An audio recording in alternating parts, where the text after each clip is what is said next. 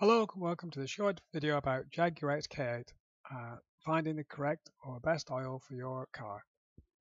Uh, this is episode 38 in my series of videos and um, in this video I'm trying to understand which is the best oil. It's quite confusing and um, I go through the process of looking around, trying to find the best information and work out a decision. Um, in order to do that, I had to look in all the manuals, um, what co- uh, oil companies were offering, what other sources and forums said, and I came to my conclusion and the decision. You'll see in the end.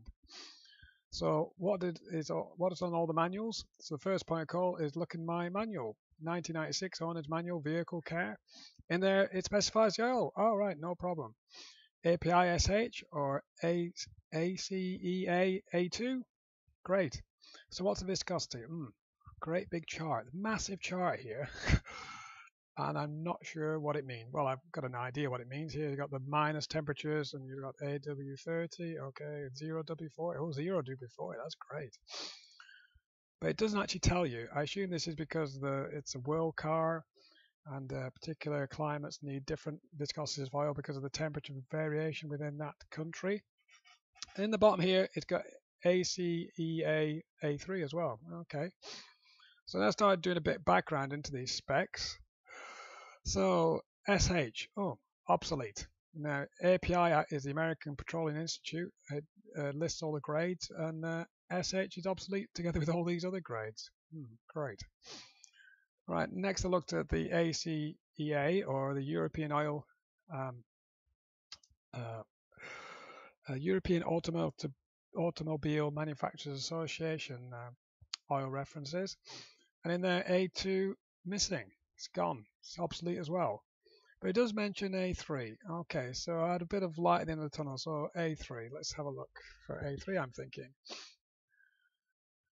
Uh, then I had a look actually in uh, some of the other information I had. This is a later manual, 1999 workshop manual for the 4 litre. In there it's got API, API SH or SJ. Oh, different grades and ACE A2, which we know is obsolete, or ACE A3. Okay, so again, some common ground. Again, some background. Uh, those uh, SH is actually obsolete, and SJ turned out wasn't. I actually had a look then at the 2003 workshop manual. Again, there's some more grades in API SL. Okay, API SJ, ACE A1, uh, a3, and this, this specification came up A, uh, sorry, WSS M2C913B, preferred. Hmm. Very interesting. So like that, that looked like the one to be getting, to be honest. The uh, 4.2 liter and uh, 4.2 liter supercharged seem to have the same specifications, which was interesting. There was these uh, uh, abbreviation here is a NAS, I assume is North America, and ROW is rest of the world. So that includes UK, I think. So WSS M2C913B or A3 seem to be the ones to be looking for. I had a look SL, yeah, it's in the American Petroleum Institute specs. That's current. SJ is also current. Hmm, okay. So the conclusion was I need to be looking for an API SL or SJ uh, ACEA A3 or this WSS M2C 913B. Right, need to look for those oils, but they're the specs, but not the grades, because I've got that big grade chart which shows every grade. Okay, so now I'm thinking, well, I'll see what the oil companies offer, and maybe that'll just throw some lights on it. So what I did was I got onto Google and I started punching in some oil companies and oil selector. Started out with Pennzoil, oil selector. You basically get the website up. There's a little web page. You put your make and model car. Here we go, Jaguar XK8. Okay, find the year. There you are. No, no. 1997 to 1999. And they are Pennzoil 10W40. I need 10, 10W40 SN according to that. Hmm. 10W40SN. Okay, so I tried another one. I've tried Duckham's 5W30 A5. I tried Castrol 0W30 A5 or A3.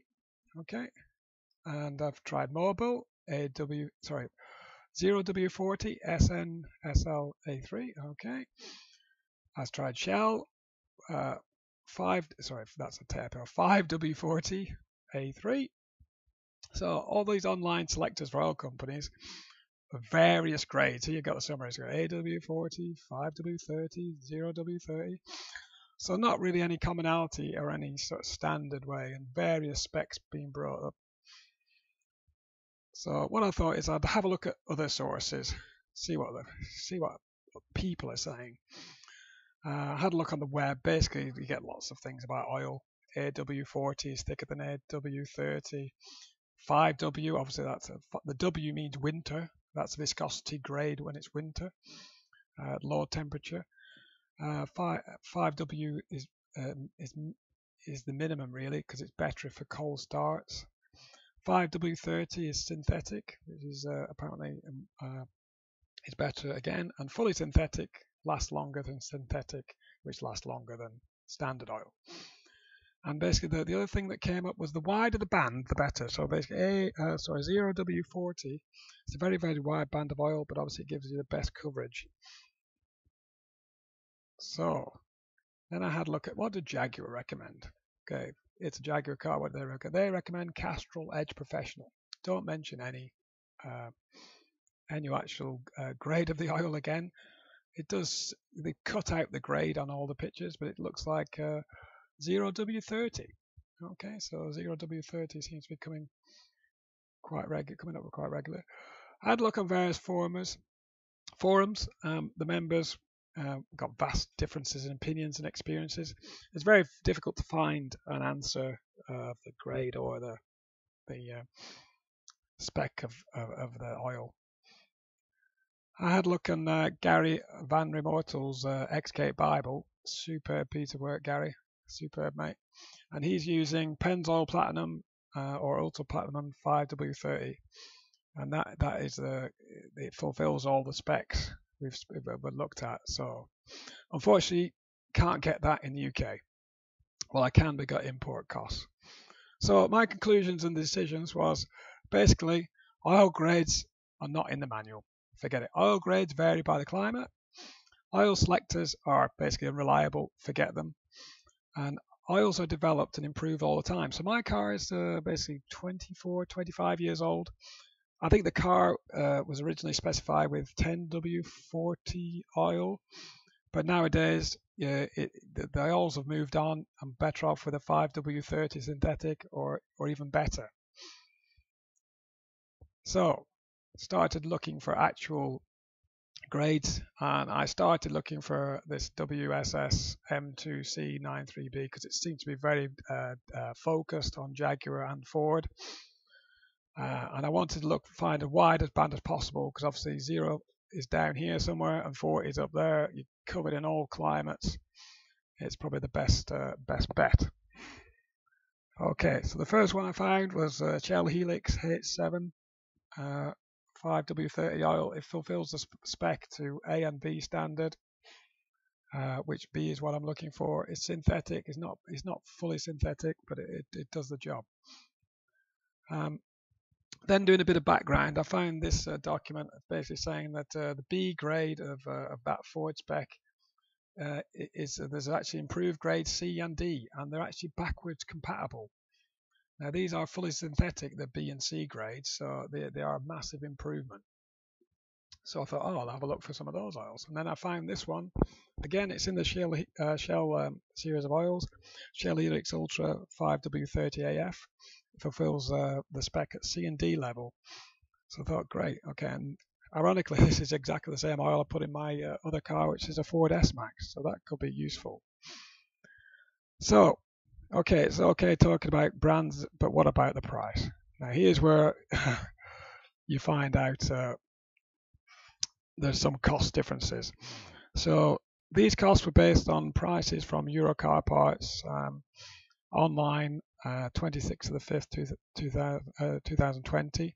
So Shell uh, Helix HX7, the synthetic grade, it's uh, up to grade B, is £5.22 a litre.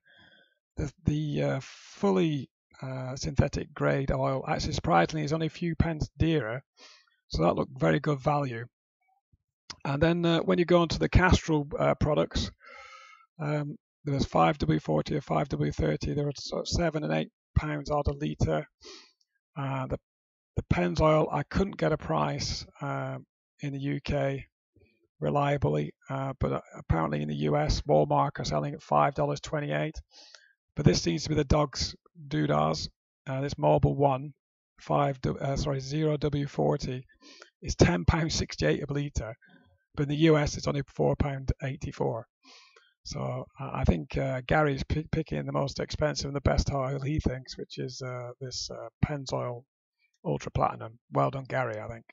So, but realistically, I'm looking for for this one. I believe it's a bit of a, a hidden gem. It, it, reaches it reaches the 5W30 minimum. I can't really afford to go to 030 or 040. Uh, it's fully synthetic. It reaches the spec to C and D level, and the cost is is is, is quite quite reasonable in the UK. So future oil change is going to be using that one. But it's a bit of a there's lots of opinions on these oils, and um, I'd like to understand what other people are using uh, and why they think that's the case. And uh, obviously, that was my logic. If you don't uh, agree with it, I'm really interested to hear. So I uh, ho- hope you enjoyed that. Um, it, it, it, doesn't altogether make sense, these oils. They're completely moving all the time. Um, but I appreciate if you could like, share, and comment.